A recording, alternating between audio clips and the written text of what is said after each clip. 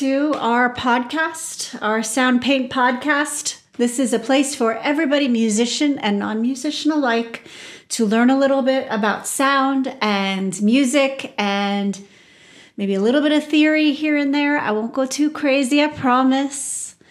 But it is December. And I had told you last week, well, two weeks ago, that we were done with the Nerd Out November. But then last week's surprise, we had an extra nerdy video. And I may go back to that topic because everybody really is responding to it in a pretty cool way. And I have a lot more nerdy things to talk about, but not today. Well, I mean, it's like a musical nerd thing. We are going to be talking about Christmas music and we are going to put a twist on it. I was inspired by my stepson's winter band concert. They did this medley of Christmas songs, but they were all in a minor key. It had a very like Nightmare Before Christmas esque darkness to it, and it was just like a cool twist on. You know, stereotypical major, bright, happy keys that you normally hear Christmas songs in. I wanted to play around with that and share that with you and kind of use that as a vehicle to talk about the difference between major and minor and just what that is. So I'm going to pick out a sound that sounds Christmassy. I don't know. I have this one, it's kind of like a synthesized, kind of a DX7 kind of sound. I kind of like it. I think I might stay with it, but we'll see. Let me try something else.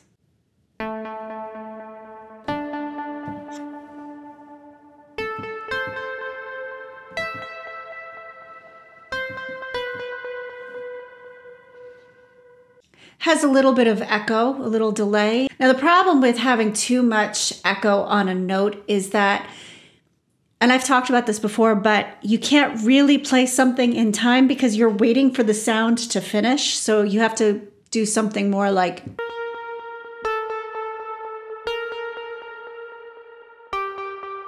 And like by that time, it's difficult to understand. I'm not going to do that. Blown speaker Wi Fi keys, maybe.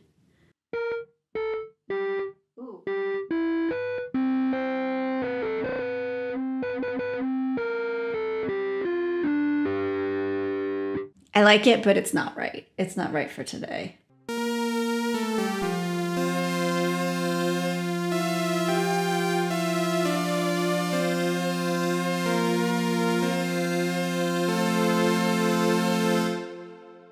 Again, I like it, but not Christmassy.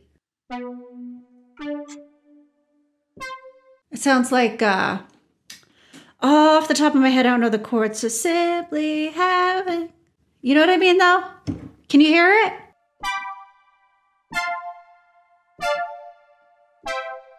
Don't get distracted. Staying on task here.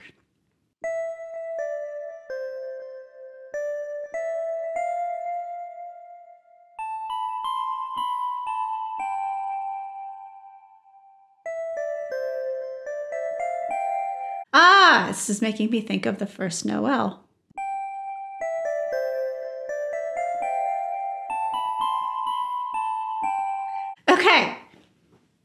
Not stay here, but I'm going to use this as an example to talk about the difference between major and minor. So I'm in C major right now.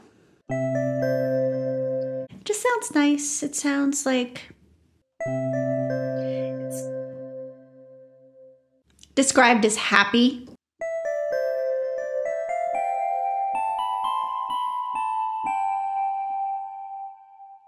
But if I were to make it minor, so right now I'm playing in C major.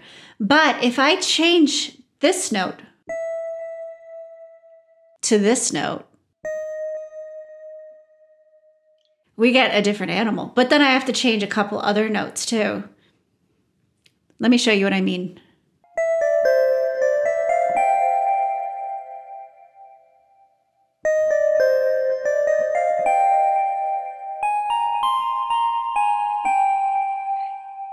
The difficult thing, that I was finding when I was practicing for this is that when you put it in a minor key, it doesn't sound like the original melody anymore.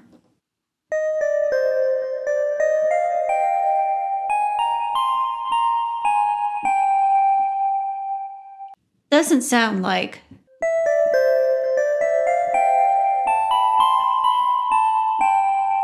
just has a very different sound. So what I'm doing is instead of playing E natural, everywhere I would have to hit an E, natural, I'm going down a half step to E flat. And everywhere I would hit a B natural, I'm hitting a B flat. And everywhere I would hit an A natural, I would hit an, I'm now hitting an A flat. So this becomes with the E flat.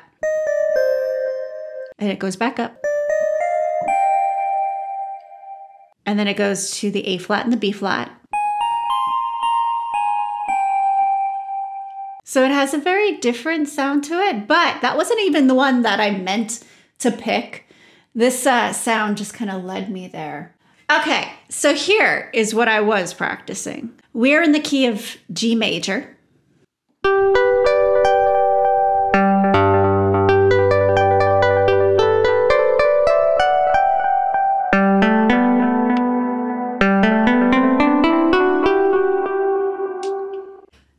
G major, but I am putting it in A minor.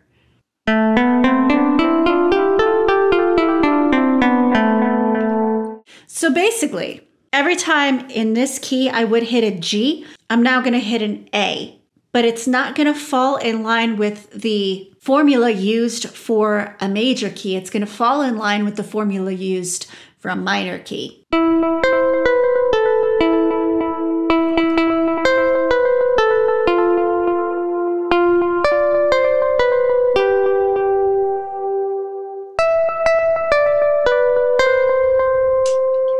So you get the idea. That is not how it's supposed to sound. It's supposed to sound like this.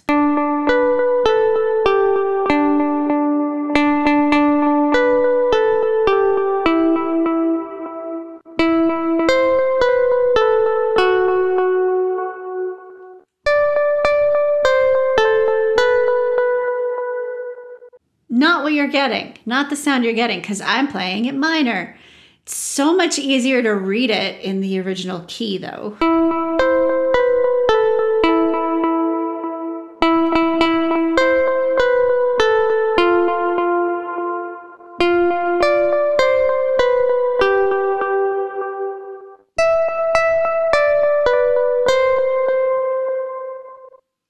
Now, this song you know to be a happy, upbeat song. It's bright, it's fun. But personally, my favorite Christmas songs are actually not bright and upbeat and fun. My favorite Christmas songs are a little dark and a little ominous. so this appeals to me. I am going to play for you. That's not it. I'm going to play for you in pieces because I don't play it on the piano. I actually like playing this on the bass. I should have gotten my bass for this guy, but that's okay. Carol of the Bells.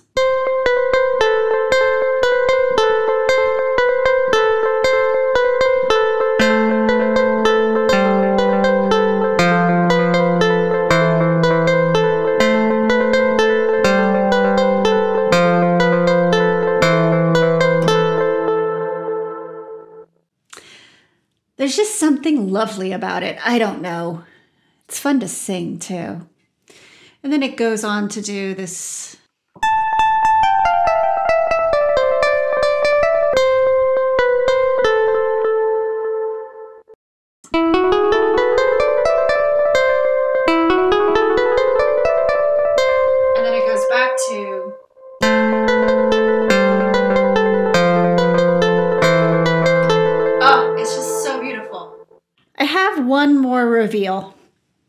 This one, I decided not to transpose. Well, it's a means of transportation, transposition, transposition. That's what I meant to say. This is. Those were sleigh bells. Rudolph the Red-Nosed Reindeer. It straight up sounds like music from a horror movie when I change the key. I'm just going to give you a little a little preview of what I'm working on here cuz it's it's just fun. Going back to the theory of it, I am not transposing it and putting it in a different key per se, but I am putting it I'm just changing the notes to make them minor. So I'm still hitting that first note over the word you. That's an A, but instead of hitting A, I'm hitting an A flat. So this is in the key of C, but I'm putting it in the key of C minor. So in the key of C minor, so C major sounds like this. All pretty, like the key of C minor, you're to flat a few things. It's actually very similar to what we did when we were flatting the three flats before with the B flat, the E flat, and the A flat. This is just its relative.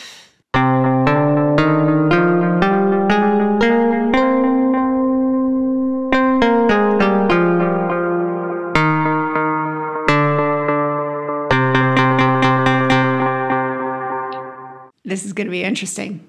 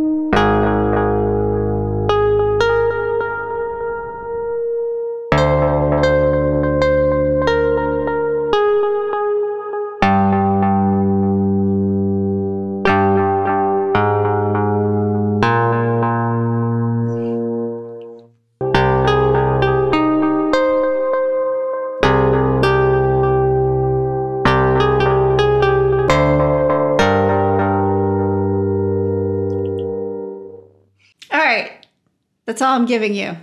I might play more for you next week. I don't know. This is a lot of math. See, what's going on is that I don't have that reassurance as I'm playing it that, yeah, you know this tune. It goes like that. Because, like, I keep second guessing myself because it just feels wrong, as opposed to Carol of the Bells, which I know how that sounds, even though it is minor. It just feels right. You don't have to think about it. But this one, it's like my instinct and decades of hearing this song is all fighting against me, saying, No, you're playing it wrong.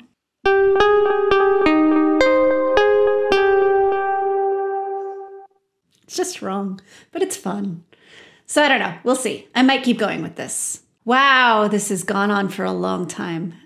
So I won't keep you anymore. Have a lovely rest of your weekend, Saturday, whenever it is that you're watching this, and I will see you next week. Bye.